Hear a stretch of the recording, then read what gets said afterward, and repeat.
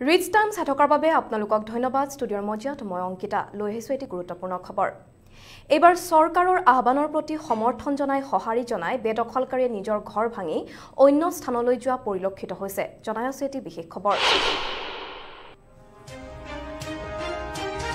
চৰকাৰৰ আহ্বানৰ প্ৰতি সমৰ্থন জনাইছে বেদখলকাৰীয়ে। বেদখলকাৰীয়ে নিজে বাসগৃহসমূহ ভাঙি লৈ যায় এনেদৰে। এই মুহূৰ্তত জনাই আছো এটি বিশেষ খবৰ। গৰুকুটিৰ এক নং ঢলপুৰত বেদখলকাৰীয়ে প্ৰশাসনৰ সহযোগত বাসগৃহসমূহ ভাঙি লৈ যোৱা পৰিলক্ষিত হৈছে। ভাঙি লৈ যোৱা দেখা পোৱা গৈছে। প্ৰশাসনে নিৰ্দিষ্ট কৰি দিয়া ঠাইলৈ বেদখলকাৰীসমূহ গুচি যায়। এই মুহূৰ্তত জনাই আছো এটি বিশেষ খবৰ। চৰকাৰৰ আহ্বানৰ প্ৰতি সমৰ্থন জনাই বেদখলকাৰীয়ে এনেদৰে নিজৰ বাসগৃহসমূহ ভাঙি অন্য স্থানলৈ লৈ যোৱা পৰিলক্ষিত হৈছে। গৰুখুটিৰ এক নং ঢলপুৰত বেদখলকাৰীয়ে প্ৰশাসনৰ সহযোগত এনেদৰে বাসগৃহসমূহ ভাঙি লৈ যোৱা পৰিলক্ষিত হৈছে ভাঙি লৈ যোৱা দেখিবলৈ পোৱা প্ৰশাসনে নিৰ্দিষ্ট কৰি দিয়া ঠাইলৈ বেদখলকাৰীসমূহ গুচি যায়। এক নং ঢলপুৰৰ প্ৰায় পঞ্চাছটা প্ৰায় পঞ্চাছটা পৰিয়ালে চৰকাৰে নিৰ্দিষ্ট কৰি দিয়া ঠাইলৈ স্থানান্তৰিত হয়। এই মুহূৰ্তত জনাই আছো এটি বিশেষ খবৰ।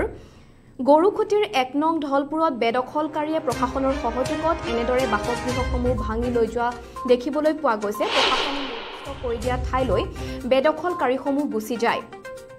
অন্যহাতে কিছুসংখ্যক বেদখলকাৰী সেই স্থান এৰিবলৈ অনিচ্ছা প্ৰকাশ কৰে যদিও চৰকাৰৰ নিৰ্দেশ মানি আঁতৰি যায়। এই মুহূৰ্তত জনাই আছে এটি বিশেষ খবৰ। চৰকাৰৰ আহ্বানৰ সমৰ্থন জনাই চৰকাৰৰ আহ্বানৰ প্ৰতি সমৰ্থন জনাই বেদখলকাৰীয়ে এনেদৰে নিজৰ বাসগৃহসমূহ ভাঙি লৈ যায় অন্য স্থানলৈ। গৰুখুটিৰ এক নং ঢলপুৰত বেদখলকাৰীয়ে প্ৰশাসনৰ সহযোগত বাসগৃহসমূহ ভাঙি লৈ যোৱা দেখিবলৈ পোৱা গৈছে এনেদৰে দেখিবলৈ পোৱা গৈছে যে বেদখলকাৰীয়ে নিজৰ বাসগৃহ ভাঙি লৈ যায় অন্য স্থানলৈ। আৰু চৰকাৰৰ আহ্বানৰ প্ৰতি সমৰ্থন জনাই বেদখলকাৰীয়ে এনেদৰে নিজৰ বাসগৃহসমূহ ভাঙি লৈ যায়। গৰুখুটিৰ এক নং ঢলপুৰত বেদখলকাৰীয়ে প্ৰশাসনৰ সহযোগত বাসগৃহসমূহ ভাঙি লৈ যোৱা দেখিবলৈ পোৱা গৈছে আৰু প্ৰশাসনে নিৰ্দিষ্ট কৰি দিয়া স্থানলৈ বেদখলকাৰীসমূহ গুচি যায়। এক নং ঢলপুৰৰ প্ৰায় পঞ্চাছটা পৰিয়ালে চৰকাৰে নিৰ্দিষ্ট কৰি দিয়া ঠাইলৈ স্থানান্তৰিত হয়। যদিও কিছুসংখ্যক বেদখলকাৰী সেই স্থান এৰিবলৈ অনিচ্ছা প্ৰকাশ কৰে। তথাপিও চৰকাৰৰ নিৰ্দেশ মানি আঁতৰি যায়। এই মুহূৰ্তত জনাই আছে এটি বিশেষ খবৰ? চৰকাৰৰ আহ্বানৰ প্ৰতি সমৰ্থন জনাই বেদখলকাৰীয়ে নিজৰ বাসগৃহসমূহ ভাঙি লৈ অন্য স্থানলৈ গুচি যায়। এই মুহূৰ্তত জনাই আছো এটি বিশেষ খবৰ। গৰুখুটিৰ এক নং ঢলপুৰত বেদখলকাৰীয়ে প্ৰশাসনৰ সহযোগত বাসগৃহসমূহ ভাঙি লৈ যোৱা দেখিবলৈ পোৱা গৈছে আৰু প্ৰশাসনে নিৰ্দিষ্ট কৰি স্থানলৈ বেদখলকাৰীসমূহ গুচি যায়। এক নং ঢলপুৰৰ প্ৰায় পঞ্চাছটা প্ৰায় পঞ্চাছটা পৰিয়ালে চৰকাৰে নিৰ্দিষ্ট কৰি দিয়া ঠাইলৈ স্থানান্তৰিত হয় আৰু কিছুসংখ্যক বেদখলকাৰী সেই স্থান এৰি যাবলৈ অনিচ্ছা প্ৰকাশ কৰে যদিও চৰকাৰৰ আদেশ মানি চৰকাৰৰ নিৰ্দেশ মানি আঁতৰি যায়। এই মুহূৰ্তত জনাই আছে এটি বিশেষ খবৰ এনেদৰে নিজৰ বাসগৃহসমূহ ভাঙি অন্য স্থানলৈ যাবলগীয়া হৈছে। একাংশ বেদখলকাৰী চৰকাৰৰ আহ্বানৰ প্ৰতি সমৰ্থন জনাই এনেদৰে বেদখলকাৰীয়ে নিজৰ বাসগৃহসমূহ ভাঙি অন্য স্থানলৈ যোৱা পৰিলক্ষিত হৈছে। আৰু এই মুহূৰ্তত এই মুহূৰ্তত আপোনালোকক শুনাবলৈ লৈছোঁ এটি ভাষ্য। নোৱাৰি। আমাৰ কোনো কোনো ধৰক ফ'ৰ্চফুল কোনো এভিকশ্যন আমি কৰা নাই। খালি এখেতসকল যিসকল ব্যক্তিয়ে ধৰক এক নম্বৰ ঢলপুৰত আছিলে সেইসকল ব্যক্তিয়ে আমাৰ কৃষি প্ৰকল্পৰ ভিতৰতে পৰিছিলে। আমি বিভিন্ন সময়ত তেওঁলোকৰ লগত আলোচনাত মিলিত হৈছিলোঁ যে আমাৰ কৃষি প্ৰকল্পৰ মাটিখিনি যাতে তেওঁলোকে মুকলি কৰি দিয়ে আৰু এই ঠাইৰ পৰা যাতে আঁতৰি যায়। তো অৱশেষত তেওঁলোকে আমাৰ পিছত তেওঁলোকে আমাক অৱগত কৰালে যে তেওঁলোক মানে অহা দুই তিনিদিনৰ ভিতৰত তেওঁলোকে এই ঠাইৰ পৰা আঁতৰি যাব বিচাৰিছে। খালি তেওঁলোকে অলপ সুবিধা বিচাৰিলে ধৰক প্ৰশাসনৰ ফালৰ পৰা অলপ ট্ৰেক্টৰ বা কিবা যদি গাড়ী তেওঁলোকে ইয়াৰ পৰা গুচি যাব পাৰে তে সেইখিনি প্ৰভাইড কৰিব লাগে সেইখিনি বস্তু প্ৰভাইড কৰিছোঁ। তাৰপিছত তেওঁলোকে গৰিয়াতাৰী বজাৰৰ ফালে তেওঁলোক ধৰক এতিয়া বৰ্তমান গৈছে।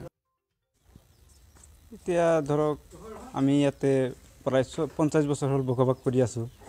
হা পঞ্চাছ বছৰ বসবাস কৰি আছোঁ এতিয়া কোনোদিন আমাক কোৱা নাই যে এইখিনি মাটি বেদল কৰি আছে আমি মাটি অৱশ্যে এইগিলা মাটি আমি কিনি লৈছিলোঁ বেদল কৰি আমি লোৱা নাই হা ধৰক চলাই কিনি লৈছে হা আমি বেদল কৰি লোৱা নাই আমি কিনি লৈছোঁ মাটিবিলাক লৈ কিনি বসবাস কৰিলোঁ পঞ্চাছ বছৰ হ'ল ইয়াতে পঞ্চাছ বছৰ হোৱাৰ পিছত এতিয়া আপোনাৰ চৰকাৰে কুপল্প আৰম্ভ কৰিলে হা এতিয়া চৰকাৰে আহি পেলাই যেতিয়া আমাক ক'লে যে আমি এতিয়া কুপল্প আৰম্ভ কৰিম আমাৰ মাটিখিনি এৰি দিব লাগিব হা তোমালোকে ইয়াৰ পৰা যাব লাগিব। আমি ক'লোঁ যে নাই ছাৰ আমি এতিয়া দুখীয়া মানুহ আমি ক'ত ক'ত যাম? আমি এইখিনি মাটিত খেতি বাতি কৰি খাই আছোঁ। বা ইয়াতে আমি বসবাস কৰি আছোঁ। পঞ্চাছ বছৰ হ'ল আমাৰ ইয়াতে জন্ম। হা কোৱাই নহ'ব সেইগিলা নহ'ব। হা আপোনালোকে ইয়াৰ পৰা যাব লাগিব আমাক কুপল্প এৰি দিব লাগিব।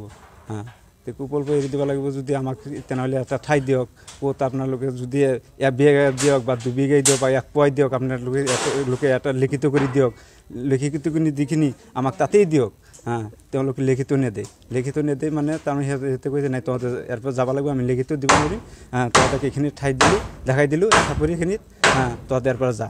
হা আমি ক'লো যে নাই আমি সেনেকৈ ঘৰ বাৰী নগ'লোঁ হা এতিয়া ধৰক আমি ঘৰ বাৰী ভাঙা নাই এতিয়া প্ৰশাসনে দি বা হেৰি দি বহুত জোৰ জুলুম কৰি আছে যে নাই যাব লাগিব নহ'লে কোবাব বা হেৰি কৰিব। এতিয়া ভয়তে বা হেৰিতে এতিয়া এই- এই বাহা কোনে এৰিব খোজে? হা আজি পঞ্চাছ বছৰ হ'ল বাহা বাগ কৰি আছোঁ। এতিয়া যাব লগা হ'ল। ধৰক এতিয়া ধৰক আমি যে কিনি লৈছিলোঁ হা এতিয়া এতিয়া হেৰি খানুৱা গৰীয়া চৰিয়াবিলাক আছিল অসমীয়া মানুহ আছিল ইয়াতে বসবাস কৰি আছিল সিহঁতে তাৰ সিহঁতৰ তাৰ পৰা কিনি লৈছিলোঁ। কিন্তু আগতেতো আৰু মাটিবিলাকৰ কোনো দলি চলি নাছিল। এনেই ঘৰুৱা হিচাপত চৰ হিচাপত হা। হা। এতিয়া এই আপোনাৰ সেয়া এইটো চাপৰিতে এয়া নদীৰ সিপাৰত গৰীয়া চৰকাৰে এতিয়া কৈছে যে এইখিনি জেগাত তোমালোকে ঠাই বনাই কিমান মাটি আছিল আপোনাৰ? আমাৰ ইয়াতে সাত বিঘামান মাটি আছিল। সাত বিঘা আছিল।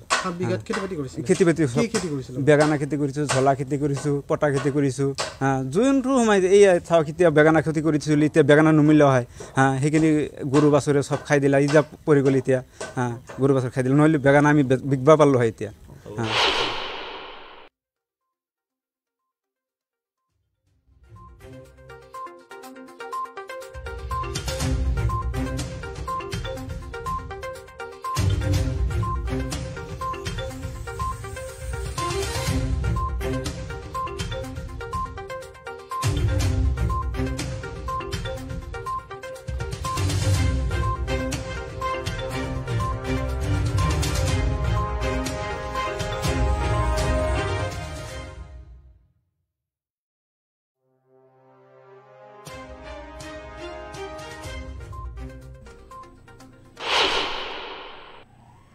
আপোনালোকে দেখিবলৈ পাৰে পালে কেনেদৰে একাংশ বেদখলকাৰীয়ে নিজৰ ঘৰ নিজেই ভাঙি অন্য স্থানলৈ গুচি গৈছে।